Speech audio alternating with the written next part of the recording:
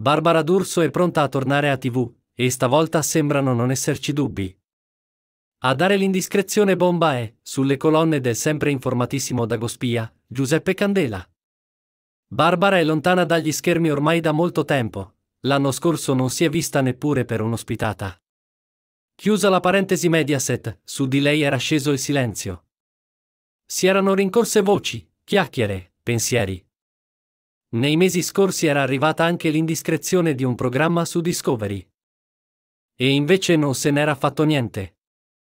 Diversamente da questa volta in cui sembrano esserci tutte le carte in regola. Per il suo ritorno in tv Barbara D'Urso ha scelto la RAI, e non un programma qualsiasi, uno che va in onda il sabato sera in prime time. Si tratta di Ballando con le stelle. Scrive Giuseppe Candela, tweet flash l'esclusiva di Giuseppe Candela, Barbara D'Urso ballerina per una notte a Ballando con le stelle. Molto probabilmente della seconda puntata. E il pubblico è impazzito. Mili Carlucci sembra essere riuscita a coronare uno dei suoi sogni per un'edizione di prim'ordine.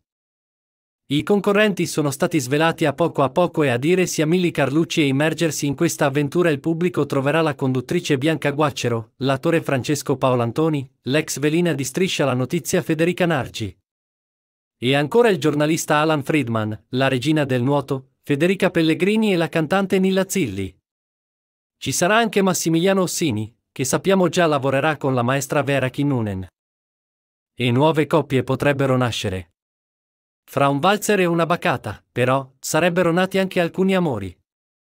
A notarli è stato Angelo Madonia che sui social ha scritto: Già vedo due barra tre coppie con tanto di emoji del fuoco. Chi sono? Novella 200 prova a fare delle ipotesi. Si legge sul sito: i due papabili VIP che potrebbero essersi innamorati del proprio partner danzerino potrebbero quindi essere lo schermitore Tommaso Marino e la conduttrice Bianca Guaccero. I due fanno coppia con Sofia Berto e Giovanni Pernice. Il video finisce qui, ma se sei interessato alle news puoi iscriverti al canale e attivare la campanella per non perderti nuovi video.